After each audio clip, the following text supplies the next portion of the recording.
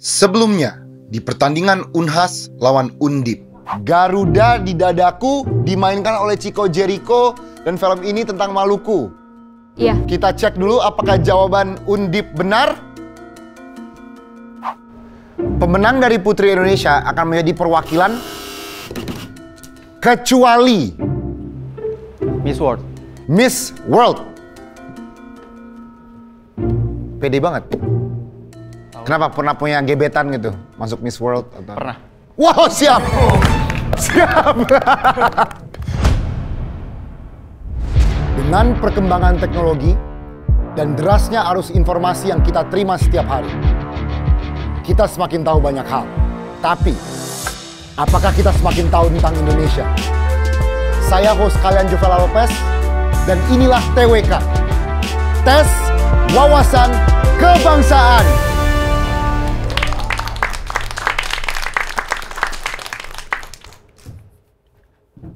Halo Udayana dan UMM. Halo. Oke, kita perkenalan dulu satu-satu ya dari Udayana deh.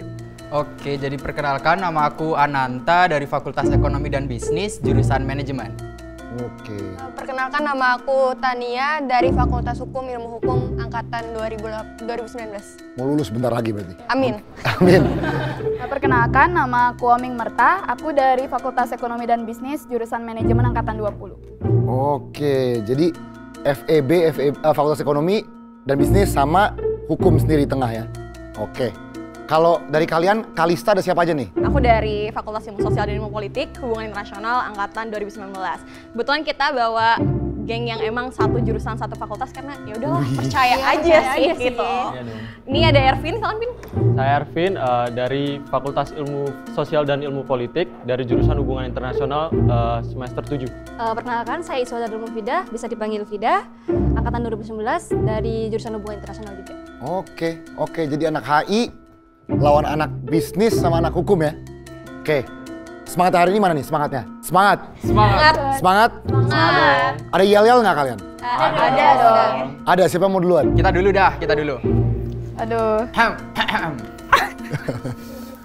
Udayana, paling jegek, paling bagus, paling dua, roar! Paling paling Jegek, jeger, jeget. jegek, Jegek apa jegek? paling Paling cantik, cantik. Paling cantik, Paling bagus, ganteng. paling ganteng. paling, Paling dua, pinter. paling pinter. Oh, Tania paling pinter ya. Oke, siap siap. Tepuk tangan lu dong. Untuk Udayana. Kenapa RAR? Roar karena kita terdiri dari tiga orang yang semangat menggelora seperti singa yang akan menerkam UMM Kak Jo. Ribut ya. UMM ada yel-yel? Ada, ada jelas, ada. Boleh, boleh. WMM nih bos. Senggol dong. Waduh. Kalian tuh satu-satunya peserta TWK. Yang di video TWK cari peserta, itu ada pesawat. Saya Iswada Dulmu Fida, mahasiswa semester 6 jurusan hubungan internasional. Dan pesawat bukan kayak kalian masuk Garuda Indonesia, bukan. Kayak pesawat di kampus kalian. Benar. Kalau nggak salah Fidah ya? Iya. Benar. Fidah berarti anak teknik penerbangan. Eh, bukan hubungan internasional. Hubungan internasional tapi ada ekskul aviasi gitu, ada ekskul penerbangan. Iya, benar. Ada ekskul penerbangan di Iya. UMM. Ada, UKM, UKM Dirgantara.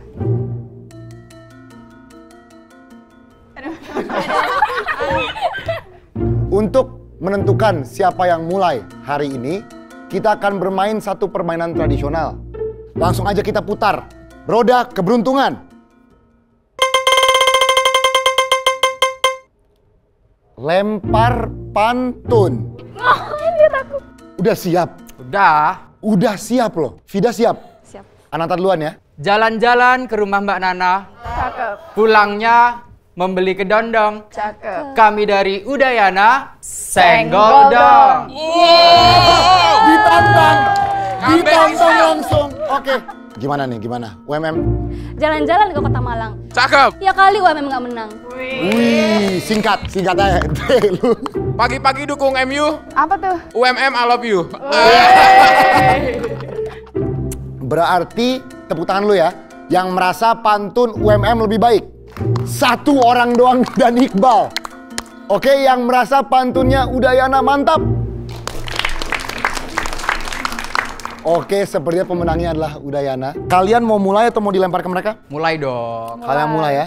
Berarti langsung aja kita mulai ke babak pertama TWK WIB, Waktu Indonesia Belajar.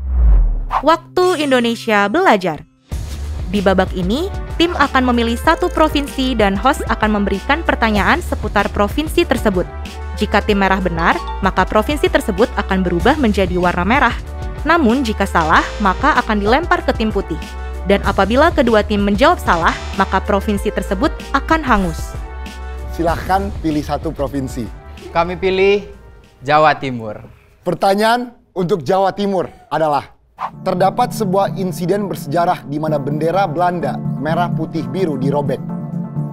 Perobekan bendera terjadi di hotel, sekolah, gedung pemerintahan Belanda, atau kantor pos. Sulit juga nih pertanyaan Jawa Timur. Hotel. Oh kalian udah tahu? Tahu. Lebih lengkapnya Hotel Yamato. Hotel Yamato ya. Coba kita cek apakah Hotel Yamato? Rar. Bahaya nih Udayana nih. Ini Udayana bahaya loh. UMM, Kita pilih Jawa Tengah. pertanyaannya adalah Tegal sebenarnya adalah nama kabupaten dan bukan kota. Benar atau salah? Kabupaten Tegal atau kota Tegal? Dan karena ini pertanyaan benar salah, kalau kalian salah, mereka otomatis dapat poin. Oke, kita pilih benar kak? Jadi Tegal itu kabupaten. Iya. Yes, benar. Oke, yakin?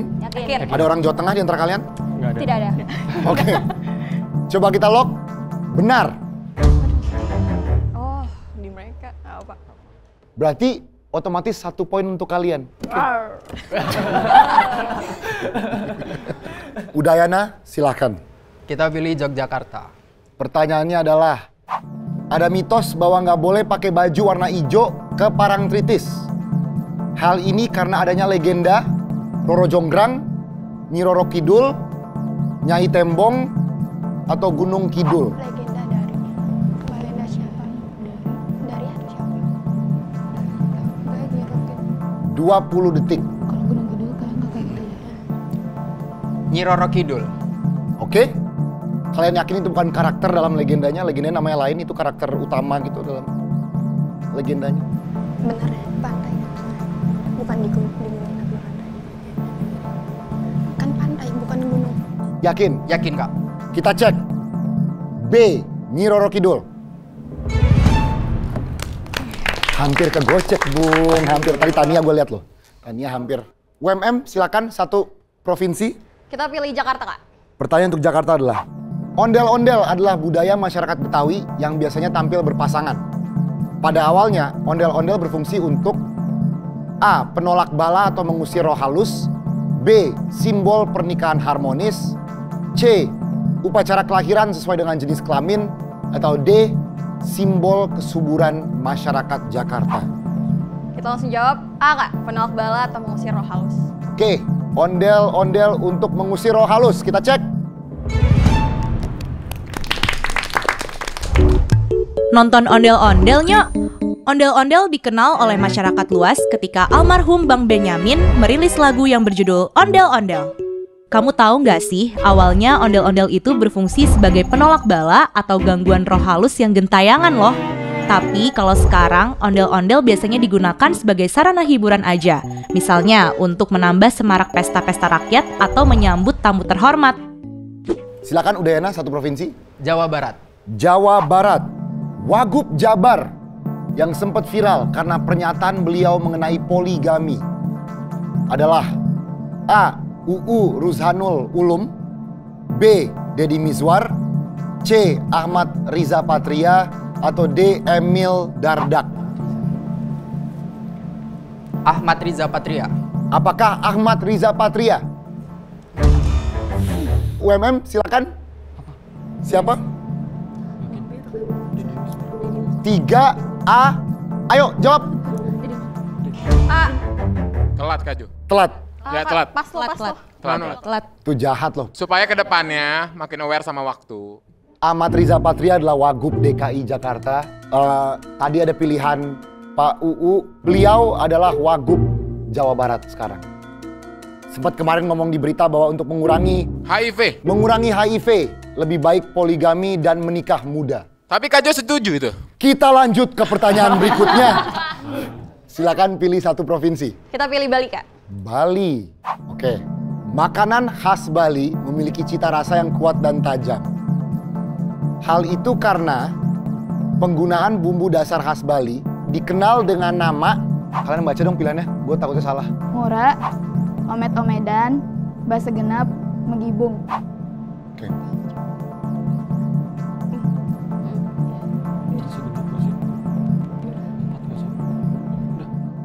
Kalian tahu atau Ah, ngapain gue?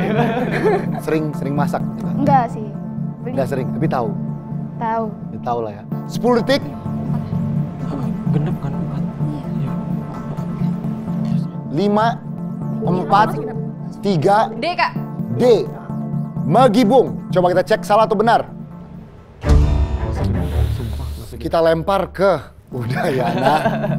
Orang Bali loh. Langsung jawab kak. Bahasa Bahasa genep. Base genep. Oke, coba kita cek apakah itu base genep. Gak jadi raw. Gak ya. Bumbu basa genep adalah bumbu dasar yang banyak digunakan dalam pengolahan makanan khas Bali. Bumbu ini sebenarnya terdiri dari 15 jenis bumbu dan rempah-rempah. Akan tetapi, basa genep memiliki empat unsur utama yaitu kencur, jahe, lengkuas, serta kunyit. Dalam proses pembuatan basa genep, masyarakat Bali tidak menggunakan perhitungan timbangan loh. Nah, makanan yang biasanya menggunakan bumbu ini adalah bebek betutu dan sate lilit. Bumbu basa genep tidak hanya berfungsi sebagai penambah rasa saja, tetapi sekaligus menghilangkan bau tak sedap. Kayaknya lesu nih kedua tim ya. Empat lo tegang kali ya. Dre, bantu Dre. Pertama kita ada senam TWK guys. Yuk kita senam TWK dulu musik. Ceng tang ceng tang ceng. Huh, Oke. kita lanjut aja. Oke lanjut ya. Udayana satu provinsi. Banten. Ini satu Jawa mau dijadiin merah loh. Oke, pertanyaan untuk Banten adalah, ini adalah tas khas Baduy yang terbuat dari A. Gandum, kulit dalam buah kelapa, C. Serat pohon, atau D. Padi. Pernah dipakai Pak Jokowi, kalau nggak salah dia pakai tahun ini nih. Serat pohon aja ya. Serat pohon. Kita lihat apakah jawabannya serat pohon?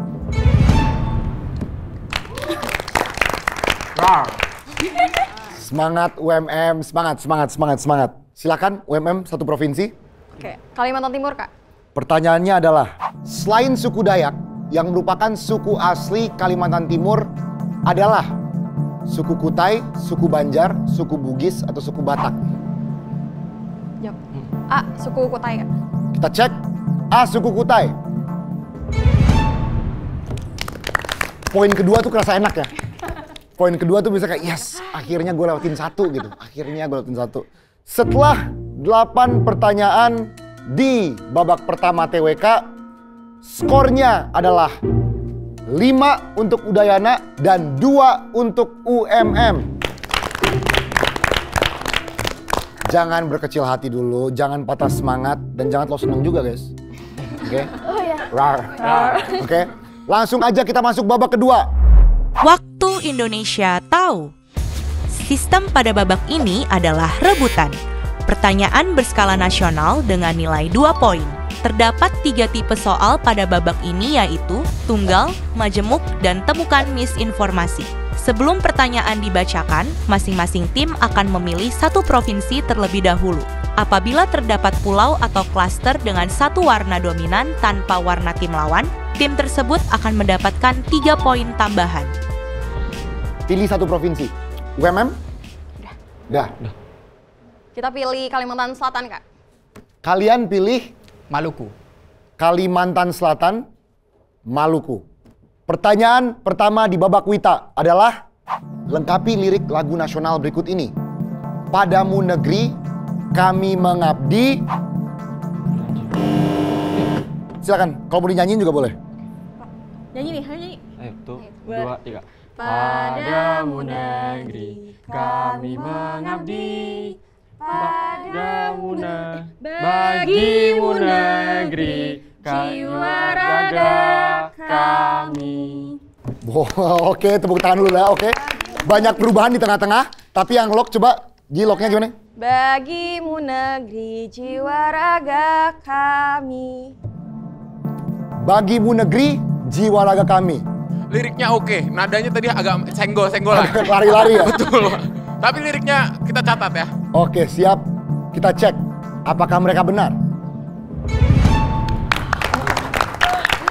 Kalian tadi hampir kegocek loh, hampir kegocek. Tim kreatif silakan gimana awalnya? Awalnya itu padamu negeri kami berjanji, padamu negeri kami berbakti. Ini yang disoal tadi, padamu negeri kami mengabdi. Yang terakhir, bagimu negeri jiwa raga kami. Hampir kegocek tapi mereka nggak gocek. Mantap UMM. Oke. Silahkan pilih satu provinsi lagi masing-masing. Kalimantan Barat. Ya, Iya, Kalimantan tengah. Tengah, Kak. Uh, gua suka nih. Karena kalau kalian bener langsung dapat dua, kalau kalian bener mereka langsung dapat dua merah di Kalimantan loh. Siap? Pertanyaan kedua di babak Wita adalah pesawat N250 merupakan Siapa duluan? UMM duluan ya. Pesawat N250. PN-nya adalah Nusantara. yakin bukan nasional 250. Nusantara lah. Negara 250. Enggak, Nusantara. Nih kalian kalau salah, lu mendingan keluar dari ekskul aviasi lo itu loh. Aduh. Kita cek apakah ini Nusantara 250.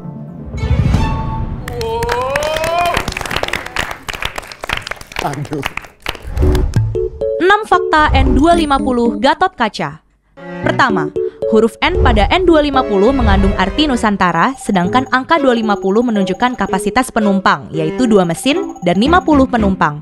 Sementara itu, Gatot Kaca adalah nama yang diberikan Presiden Soeharto. Kedua, sosok penting di balik pembuatan pesawat N250 Gatot Kaca adalah B.J. Habibie. Ketiga, teknologi fly-by-wire yang digunakan pada N250 merupakan yang pertama untuk pesawat berukuran tersebut. Keempat, tiga tahun setelah terbang perdana, tepatnya tahun 1998, proyek N250 dihentikan. Kelima, pesawat N250 Gatot Kaca menjadi koleksi yang ke-60 Museum Pusat TNI AU Dirgantara Mandala Yogyakarta. Terakhir, selama proses perpindahan pesawat N250 Gatot Kaca dari Bandung ke Yogyakarta, pesawat melewati jalur darat sejauh 567 km. Sekarang pertanyaan bersifat majemuk. Pilih provinsi dulu. Kita ambil apa? Lampung. Eh, kita ambil Lampung, Kak. Lampung, kalian ambil? Kalimantan Utara. Oke. Pertanyaannya adalah film produksi Indonesia yang paling banyak ditonton. Genre-nya adalah Eh, romantis. genre-nya romantis. Film ini yang paling banyak ditonton ya? Yang paling laku berarti. Yang paling banyak Oh. ditonton itu yang paling laku. Yang Horor. Paling banyak penontonnya di bioskop. Horor. Ya, horor. Horor. Oh berubah. Yakin sekarang abis ini bukan sejarah. Bukan. Horor. Horor. Horor. Horor. Iya. Oke, coba kita cek apakah horor? Oke, horor. Berarti kalian dapat Lampung. Sekarang untuk Kalimantan Utara ya. Pertanyaannya adalah apa judul film terlaris Indonesia itu? Horor terlaris. Namanya adalah guys kelamaan. KKN. KKN di Desa Penari. Yakin? Berapa juta penonton? 100 juta. 100 juta penonton untuk KKN di Desa Penari. Lu gila lo. Sepertiga Indonesia. Termasuk Manula dan bayi. Nonton orang KKN.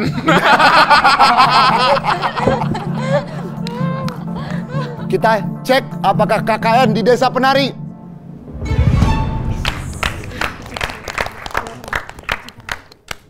Oke, berarti kalian berhasil ngambil Kalimantan Utara ya. Tania seneng banget. seneng ya. Pertanyaan majemuk yang kedua udah siap? Pilih provinsi dulu. Sumatera Selatan. Sumatera Selatan. Kalian nggak mau gambling nih? Jakarta lah tuh, Jakarta tinggal Jakarta. Ini karena kalau kalian dapet Jakarta, kalian dapet Pulau Jawa. Jakarta, Kak. Tapi kalian harus korbankan sesuatu. Oh, Kalian punya dua provinsi di luar Jakarta. Kalian ada Lampung dan Bali. eh, Jakarta. Kita ambil Jakarta. Abis itu Yang dikorbanin yang apa? dikorbankan Lampung. UMM, Iya. Kita ambil Sumatera Selatan nggak? Oke, jadi ini yang terjadi ya. Kalau kalian benar soal pertama, kalian dapat Sumsel. Kalau kalian benar di soal kedua, kalian dapat Jakarta, dan Lampung. Tapi kalau mereka benar, kalian pertama dapat Jakarta, habis itu kalian dapat Sumatera Selatan. Paham? Paham. Paham ya? Pertanyaannya adalah game adalah bahasa Inggris. Ada sebuah kata Indonesia yang merupakan kata serapan dari game yaitu GEM kak? GIM, sorry. GIM. GIM. GIM. game, Ya, bukan permainan. bukan. Bukan. Gam. Oh, no, no, no. Aku main game ya. Oke. Kita tetap pendirian. Oke oke, pendirian tetap. Coba kita cek apakah game GIM. Oke. Sumatera Selatan dapat. Sekarang untuk Jakarta dan Lampung. Pertanyaannya adalah dari daftar game berikut ini manakah yang merupakan buatan Indonesia? Mobile Legend Bang Bang, Free Dread Fire, Out, Kak. Dread Out. Udah pernah main? Udah sih, lihat filmnya Lihat sih. di YouTube. Kita cek apakah jawabannya Dread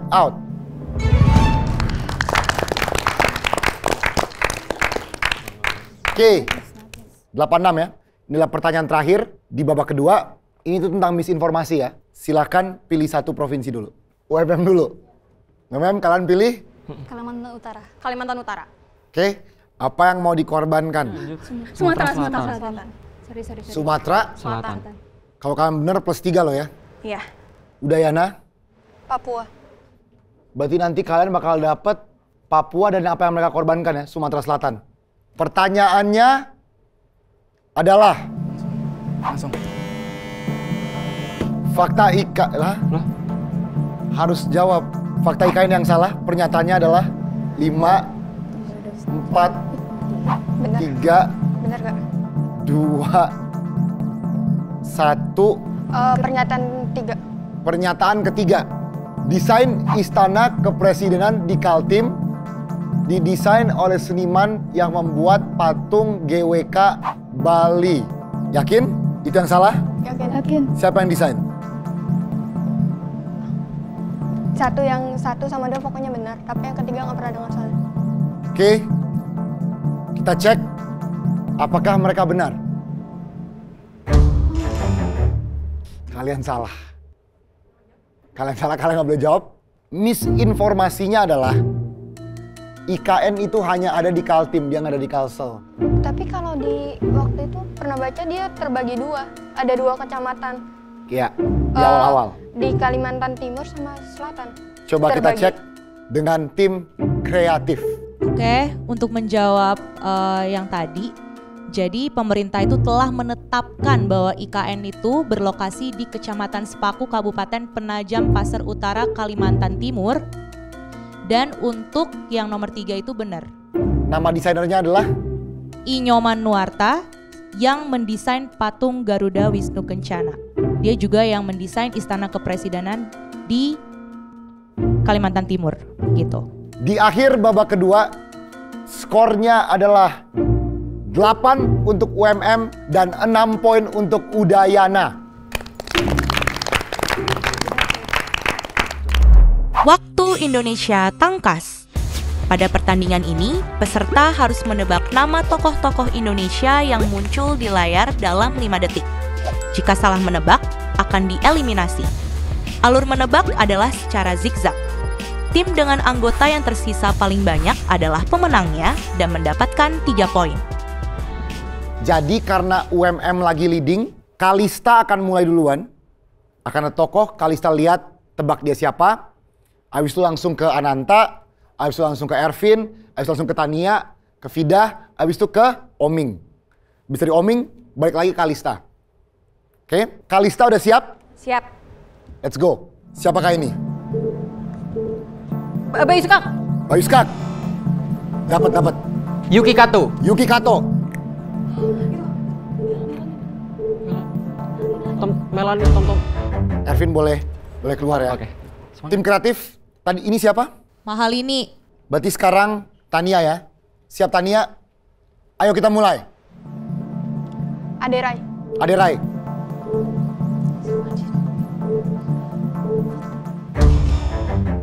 Sayang sekali Vida, salah satu member dari K-pop group Dita, Dita Karang. Dita Karang. Dita Karang. Terima kasih Vida ya. Oke, Kalista siap sendirian. Stay strong. Oke, Oming siap? Siap. Let's go. Aduh, siapa nih? Nggak tahu. Siapa nih? Nusa. Itulah karakter dari Nusa. Terima kasih Oming. Oke, sekarang Kalista ya. Kalista siap? Iya. Oke, let's go. Sri Mulyani. Eh, bukan. Eh, ibu, ibu. Retno Marsudi. Retno, dapat Prayoga. Lanjut. Kalista, Ya jadi Mentara. kalian tahu dia siapa? Pahlawan revolusi bukan sih? I Gusti Ngurah Rai. Di uang 50.000 ribu pada masanya. Benar. Kalista sayang sekali, berarti pemenang babak ini adalah Udayana. Oke. Oke, boleh balik semua ke meja. Hah. Eh, Upin. Eh, tet, tet, tet, tet. Oke. Udayana jangan seneng dulu. Sekarang kalian ada tiga kesempatan untuk milih provinsi depan kalian. Oke. Tetapi benar-benar hanya tiga kesempatan. Kalian nggak boleh pilih provinsi yang udah diwarnain. Dan kalian nggak boleh pilih provinsi fiktif seperti Sumatera Timur. Pilihan pertama kalian adalah, nggak boleh salah ya, gua nggak bakal kasih eh, kesempatan kedua. Eh, bawah NTB, NTT. Apa aja satu. Oh ya. Eh, Yang bukan. pertama adalah NTB, NTB masih bisa, yang kedua adalah NTT. NTT masih bisa, yang ketiga adalah eh, Bukan Maluku kan? Maluku Utara. Maluku Utara juga masih bisa. Selamat, tiga poin untuk Udayana. Oke. Sekarang kita akan main Lihat dan tebak challenge. Tiap tim harus menggunakan indera yang dimiliki, baik itu mata, hidung, telinga, atau lidah, untuk menebak apa yang ada di hadapan mereka. Tiap tim harus berdiskusi dan menuliskan jawaban mereka di papan tulis. Tim yang berhasil menjawab dengan benar akan mendapatkan 3 poin. ini masih sangat dekat ya. Poin dia masih siapa pun bisa menang. Oke, silakan masuk. Tepuk tangan dulu dong untuk mereka berdua. Oke. Teman-teman, kita maju ke depan dulu yuk. Maju ke depan. Maju ke depan dulu yuk. Maju ke depan. Liatin aja boleh. Puterin, liatin aja. Liatin aja nih. Liatin Ferdi, liatin Meisha gitu. Harusnya model yang cowok nggak senyum sih Kak Jo. Oke, model cowok boleh nggak senyum nggak? Langsung langsung galak loh mukanya loh. Oke, balik ke tempat masing-masing. Ferdi Meisha boleh ke samping kiri kanan gua. Pertanyaannya adalah ini baju daerah mana? Daerah. Nama daerahnya kan kak? Nama daerahnya, iya. Berarti Lampung nggak mungkin. Oh, itu diskusinya intens. Udah Yana lihat, udah Yana. Ini game terserius di TWK. Sumatera Utara. Iya, Sumatera Barat. Kemudian Sumatera Utara nggak mungkin. Kalista, siap? Belum. Oke. Countdown. 10, 9, 8, 7, 6, 5, 4, 3, 2, 1. Selesai. Oke. Tolong tunjukin papan kalian ke kamera. Udayana, kalau kalian benar, kalian dapat tiga provinsi kan? Kalian mau provinsi apa aja? Disebut sekarang, jangan salah. Eh, Aceh, Aceh, Sumatera Barat, Sumatera Barat, sama Jambi. dan Jambi. Kalau kalian menang, kalian juga dapat tiga provinsi. Kalian mau apa? Kalimantan Utara. Kalimantan Utara. Sulawesi, Sulawesi Utara, Sulawesi Utara masih kosong. Sulawesi Selatan, Sulawesi Selatan masih kosong. Kalimantan Utara. Iya gitu. Enggak bisa. Nggak bisa, nggak bisa. Dan Sulawesi Tenggara. Sulawesi Tenggara.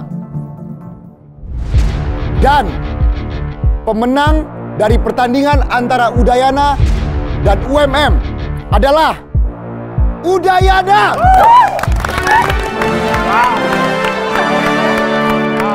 Udayana selamat. Ini adalah pakaian adat Palembang, Sumatera Selatan. Selamat kalian ke babak berikutnya. Wow. UMM, UMM. Tepuk tangan untuk UMM dong. UMM terima kasih banyak udah ikutan di TWK. Keren loh, jujur kalian keren. Ah, videonya udah yang paling keren. Dan kalian juga peserta yang keren ya. Thank you banget udah ikut TWK ya, thank you. Oke. Sampai ketemu di episode berikut TWK. Pertandingan berikutnya. Ubaya lawan Trisakti. Kamu harus tahu. Kamu harus tahu. Itu gubernurmu. Gubernurmu. Mukanya kayak gitu dah. Wah ini resolusinya salah.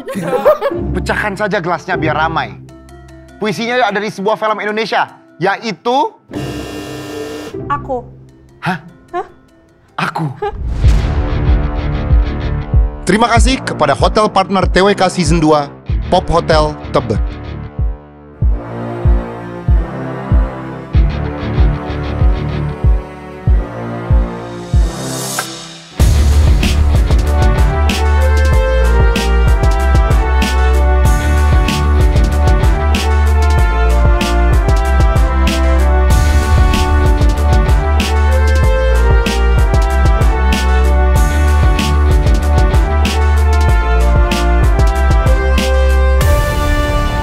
Jangan lupa subscribe